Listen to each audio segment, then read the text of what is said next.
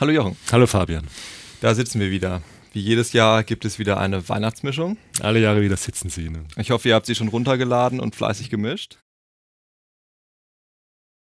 Also ich bin da ja sehr, sehr Analyzer-gläubig. Also mir ist es eigentlich schon klar, dass wenn hier auf dem Analyzer irgendeine Frequenz halt gar nicht da ist, dass das dann auch auf irgendwelchen Lautsprechern, die möglicherweise ihre, ihre Hauptenergie aus diesem Bereich ziehen, dann dieses Instrument sich nicht wirklich durchsetzen würden. Deswegen achte ich drauf, dass die, ähm, ich lasse es gerade mal laufen, dass halt eine Bassdrum auch relativ ausgewogen ist. Ah, ja. Ne? Also wie man hier sieht, das ist eine... Fällt nach oben so ab, aber es Genau. sieht erstmal... So, jetzt zum Bass. Ne? Würde ich auch sagen. Und da gibt es eine, eine Triggerspur für den Bass und die ist auch essentiell. Ohne die der klingt der eigene. Bass leider gar nicht gut.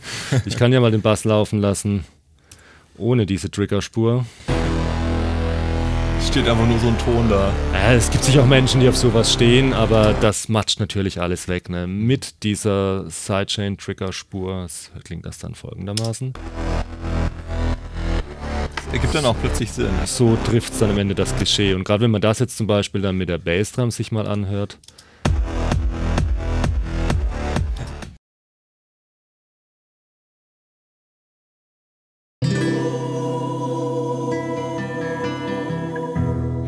Überall,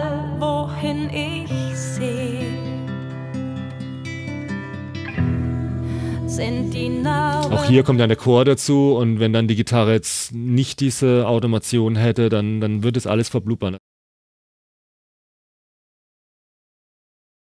Ja, Effekte, einzig ist es nicht viel.